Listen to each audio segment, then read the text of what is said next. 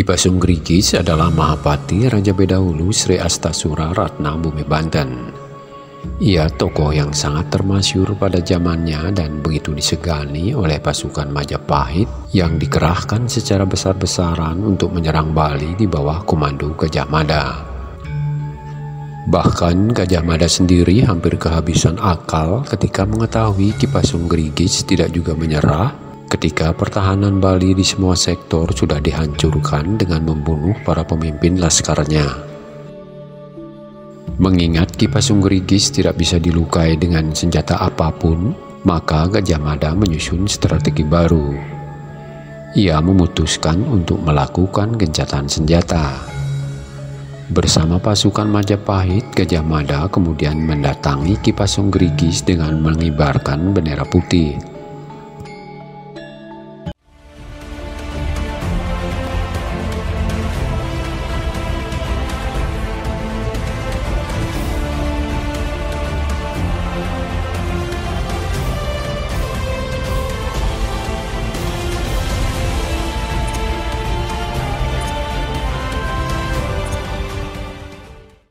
Sebelum masuk ke materi yang kita bahas, ada baiknya kita telusuri dulu asal-usul Kipasung Gerigis.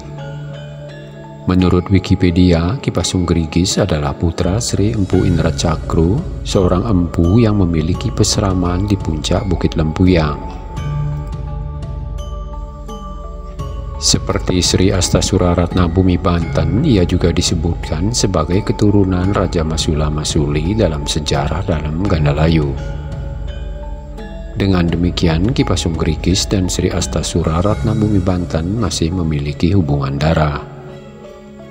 Apa yang tercantum dalam babad Usana Bali Pulina juga mendukung pernyataan yang ada pada sumber-sumber yang telah disebutkan tadi bahwa Sri Empu Indra Cakru pernah naik tahta untuk menggantikan Sri Masula Masuli sebelum akhirnya meninggalkan kerajaan untuk menekuni jalan spiritual sehingga beliau disebut Raja Resi. Selanjutnya disebutkan pada suatu hari para petinggi kerajaan Bedahulu termasuk Kipasung Gerigis sedang menghadap Raja Gajah Wahana alias Sri Astasura Ratna Bumi Banten guna membahas permasalahan yang dihadapi kerajaan setelah kematian Ki Kebu Iwo. Kematian Ki Kebo Iwo karena siasat Gajah Mada itu tentu menimbulkan duka yang mendalam dan suasana berkabung. Selain itu, tanda-tanda tidak baik juga menyusul, seperti bintang kukus atau bintang berekor yang muncul di langit sebelah timur laut, burung gagak yang bermuji pada malam hari, dan pintu gerbang istana yang tersamar petir. Tidak lama kemudian terjadi kekacauan di pantai timur, selatan, barat, dan utara Bali akibat kedatangan orang-orang asing yang tingkah lakunya seperti pemburu. Ada laporan bahwa Nusa Bali sedang dikepung oleh musuh dari Majapahit. Akibatnya banyak penduduk yang mengungsi ke pegunungan. Menanggapi situasi itu, Raja Astasura Ratna Bumi Banten, para patih, Dembung dan Tumenggung sepakat untuk mengadakan perlawanan. Mereka berjanji untuk mengorbankan jiwa dan raga daripada hidup dijajah dengan menaati disiplin pertempuran. Ki Gerigis menegaskan kepada semuanya agar tetap berhati-hati melakukan strategi yang benar dan tidak melanggar tata kerama pertempuran agar tidak merendahkan derajat kesatria.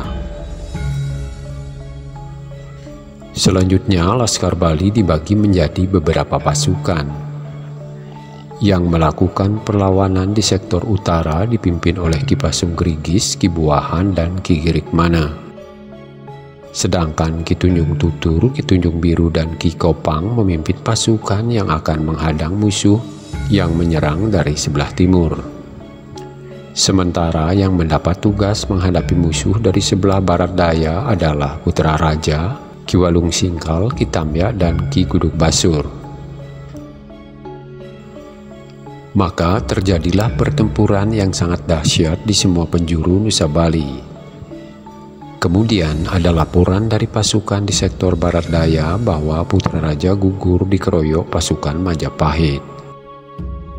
Mendengar berita itu, Raja Sri Astasura Ratna Bumi Banten merasa terpukul karena keturunannya terputus. Akhirnya beliau pun disebutkan wafat.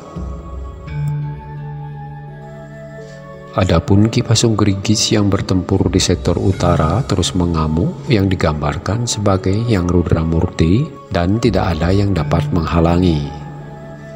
Namun, ketika mendengar berita bahwa putra mahkota telah gugur, beliau segera datang ke Bedahulu.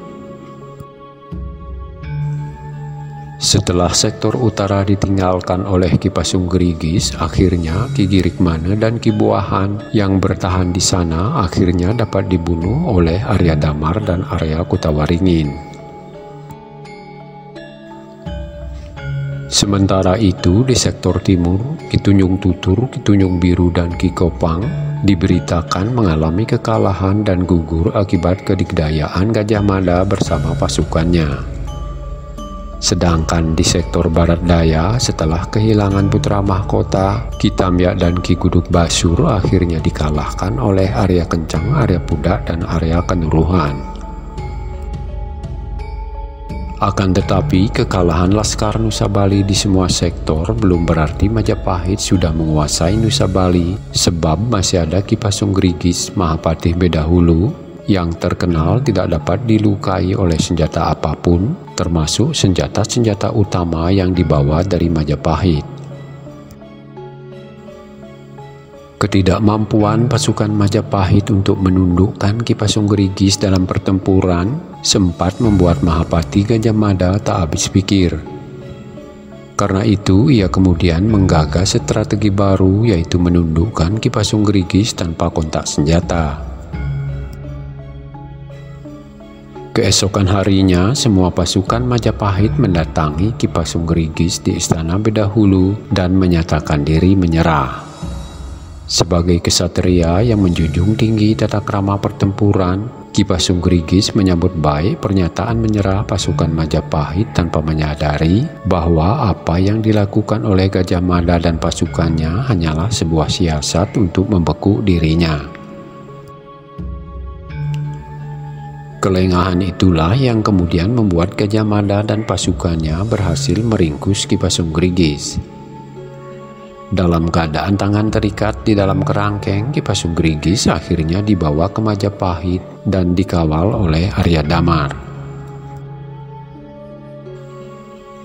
Rakyat Nusa Bali yang ditinggalkan pada percucuran air mata merasa sangat terharu mendengar pesan Kipasung kepada putranya Kipasung Giri yang berbunyi, ditaklukkan menaklukkan, dikorbankan mengorbankan, itu menyenangkan bagi kaum kesatria. Kepergian Ki Pasung Gerigis dari tanah Bali merupakan awal Bali dikuasai oleh Majapahit. Demikianlah siasat Gajah Mada dalam menaklukkan Ki Pasung Gerigis dalam rangka memenuhi sumpahnya untuk mempersatukan seluruh Nusantara di bawah panji Majapahit. Semoga bermanfaat.